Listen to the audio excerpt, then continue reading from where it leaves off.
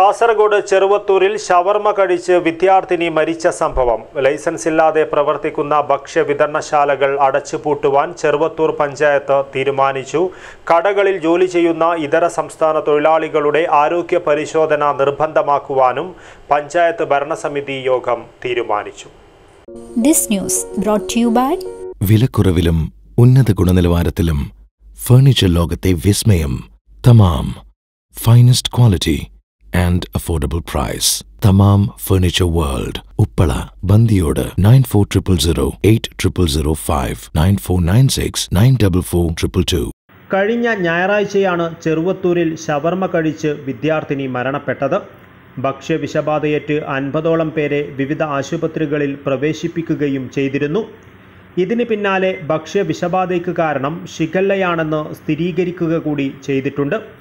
ഈ സാഹചര്യത്തിലാണ് ചെറുവത്തൂർ പഞ്ചായത്ത് ഭരണസമിതിയുടെ പ്രത്യേക യോഗം വിളിച്ചു ചേർത്തത്. ലൈസൻസ് ഇല്ലാതെ പ്രവർത്തിക്കുന്ന ഭക്ഷ്യ വിതരണശാലകൾ അടച്ചുപൂട്ടുവാൻ യോഗത്തിൽ തീരുമാനിച്ചു. ഭക്ഷ്യവിഷബാധ ഒഴിവാക്കുവാനുള്ള ഇടപെടലുകളുടെ ഭാഗമായി പഞ്ചായത്ത് പരിധിയിൽ പ്രവർത്തിക്കുന്ന ഫാസ്റ്റ് ഫുഡ് ഷോപ്പുകളടക്കമുള്ള മുഴുവൻ കടകളിലും ആരോഗ്യവകുപ്പിന്റെ സഹകരണത്തോടെ പരിശോധന നടത്തും. കടകളിൽ ജോലി ചെയ്യുന്ന ഇതര സംസ്ഥാന തൊഴിലാളികളുടെ ആരോഗ്യ പരിശോധന നിർബന്ധമാക്കുവാനും പഞ്ചായത്ത് ഭരണസമിതി യോഗത്തിൽ തീരുമാനിച്ചു. തന്നെ പഞ്ചായത്ത് കഴിഞ്ഞ ഇരുപത്തിരണ്ടാം തീയതി തീയതി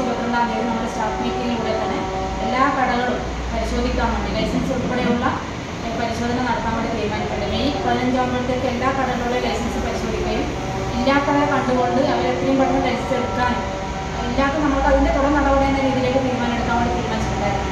കോഴിക്കടകൾ പരിശോധിച്ച് പ്രവർത്തനാനുമതി നൽകുവാൻ പ്രത്യേക സംവിധാനം ഒരുക്കുവാനും യോഗത്തിൽ തീരുമാനിച്ചു. ലൈസൻസ് ഇല്ലാതെ പ്രവർത്തിക്കുന്ന തട്ടുകടകൾ അടച്ചുപൂട്ടും.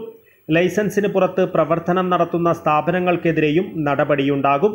രണ്ട് മാസത്തിലൊരിക്കൽ ആശാ വർക്കർമാരുടെ സഹകരണത്തോടെ കടകളിൽ പരിശോധന നടത്തുവാനുള്ള സംവിധാനം രൂപീകരിക്കുവാനും യോഗത്തിൽ തീരുമാനിച്ചിട്ടുണ്ട്. Urumees Thrikaripur news bureau Cheruvathur.